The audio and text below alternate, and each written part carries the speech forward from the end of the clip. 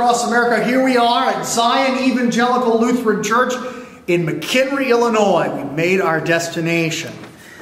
But we still have a few of your questions to answer, so here we go. Stan, let's go.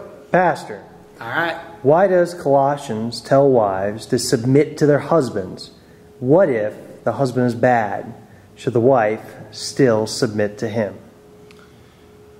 Well, all husbands are sinners.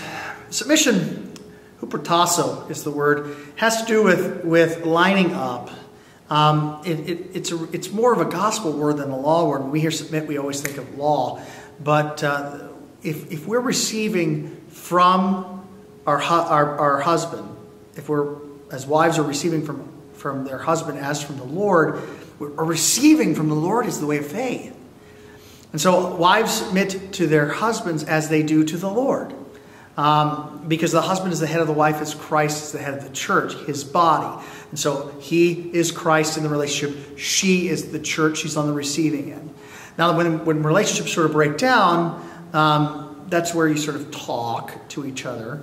Submission is not, um, I'm the boss of you, as the kids would say. Submission is all about receiving from the Lord to us. And so I think, you know, if you're having a problem with your spouse, or you should sort of talk with them about what submission is, go to, to, your, to your pastor, have a discussion about what Christian submission is, so that um, everybody's on the same page about it. And this also has a nice thing about actual dating.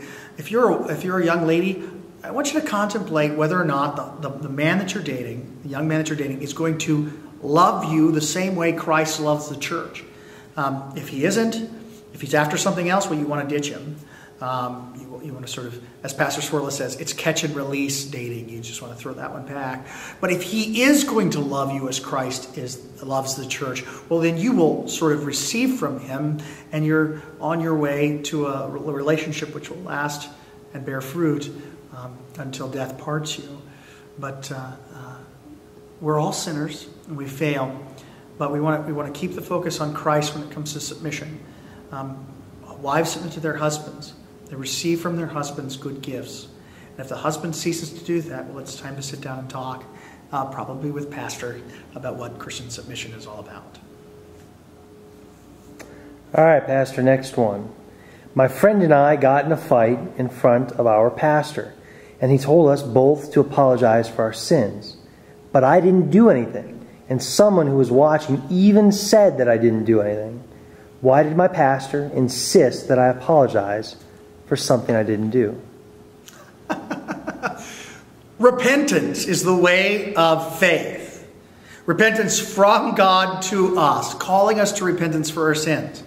Um, you know, sometimes we, we, we, even when we don't realize it, we're acting like children. And when parents deal with children, they ask everyone to repent. The Lord deals with us the same way. We all have something that we need to repent of. Even if we don't feel like we did the specific thing um, that, that Pastor said we did, we probably did other things which lead up to that. We weren't um, as as loving. We weren't putting the other person first. We weren't caring for them as Christ cares for us. We weren't being Christ for them. So if Pastor tells you to repent, you probably should repent. Not probably should. You need to repent.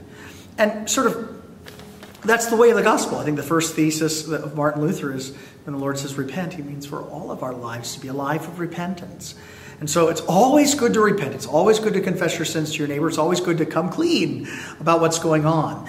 And by the way, this brings to another question of, well, do I have to apologize if the other person isn't sorry? Really? What did Jesus, what did the Lord do for you? Father, forgive them. They what what uh, stand they know not what they do. They know not what they do. And so you can be the one who is Christ for someone else by taking on their sins upon yourself. You don't always have to wait for them to be the one that apologizes. You be the one that apologizes. You be the Christian. Um, as I tell um, my young people, um, you get to be a Christian all the time, even when the next person isn't being one.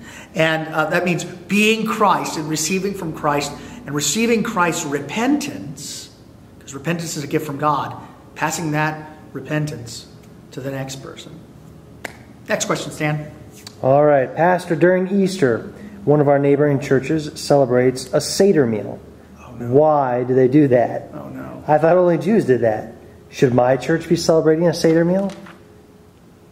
Um, And just for those of us who maybe need some, some help, you want to explain what a Seder meal is? no, not really. What I would like to do is say, in the individual individual parishes, you want to take the moment and you want to talk to your pastor about these things. You want to go to your pastor and you want to say, Pastor, I thought this was only a Jewish thing. I thought this, you know, this sort of Seder thing is is the celebrating the Passover and stuff like that is only only for the Jews. And you want to take a moment and you want to talk with him about it, and you want to you want to say, how does this point to Christ? Um, I'm not going to tattoo a pastor's practice or what's what a pastor may have inherited, but I will say that we need to make sure that the practices that are going on in these parish in our parish confess Christ. And so, Pastor, how must how do I confess Jesus in this meal? And if if not, why are we doing it? If we're always if we're doing it because we've always done it, or it sort of points to the Old Testament, well, that's not good enough. What we need to be doing is proclaiming Christ and Him crucified. Hey, there's a cross. Christ and Him crucified. If we're not proclaiming that, then we're not being. There's really no reason for us to be gathering together for anything. Um, you can actually ask that about anything, anything in the liturgy that goes on, from where why the pastor moves from point one to point two, why he stands where he stands when he reads the gospel. Some pastors, oh, come on up here. Some pastors read the gospel from here. Uh, some pastors, following a procession, will read the gospel from the center of the congregation. Why do you do that, pastor? Is the question. And they're the ones given to answer that question. They're the ones who should be able to say, well, we're reading it from the horn of the altar because Jesus is speaking his words to us. Or we're reading it from the center in the procession because Christ is among us. You know, uh, why do you do what you do? And how does it proclaim Christ is, the, is, a, is a question that every Christian should be able to ask their pastor. Um, so I'm not dodging it. I'm simply saying ask your pastor about the specific thing that is going on in your parish. We should always be ready to ask our pastors these questions. Go ahead. Second to last question Is it okay to be angry at God? It's absolutely okay to be angry with God.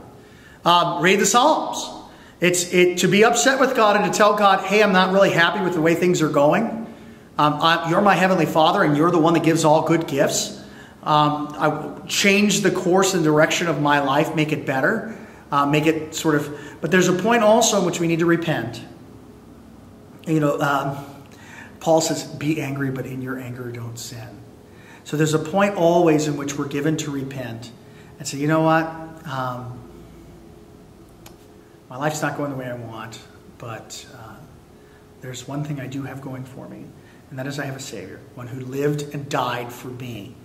And I will trust that every good and perfect gift comes from above, from the Father of lights, in whom there's no shadow or variation of change. And I'll believe that God is going to carry us through this.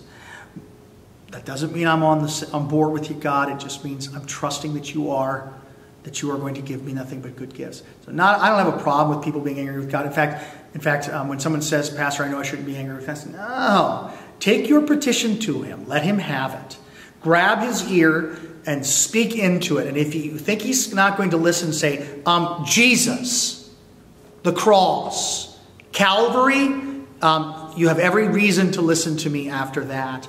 And then and, and you work that out between you and your Heavenly Father, knowing the first commandment that He has only good for you all the time. So you have questions still? That's okay. I have questions still. You can email us at radio at higherthings.org, radio at higherthings.org, or you can text us, you can SMS us.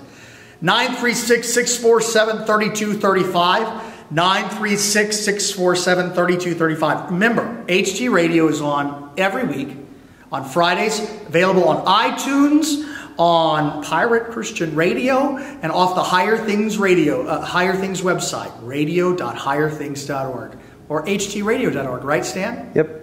All right, it's been nice going across America with you. It's not enough stress to travel across America with your family with a, with a U-Haul behind you. We've had a lot of fun stopping in various places and seeing various parts of the United States.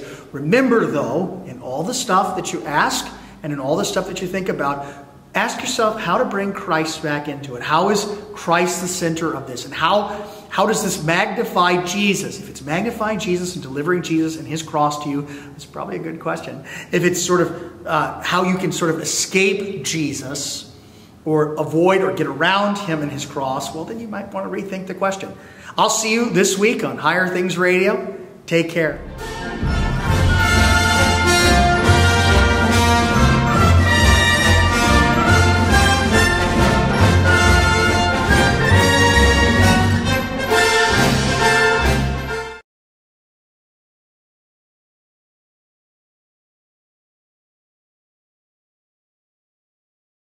Stan Lemon, you are the webmaster of higher things, and I am going to stump you.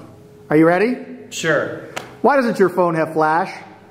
Well, Pastor, it's funny that you should ask that. Wait a second. That's not what this is about.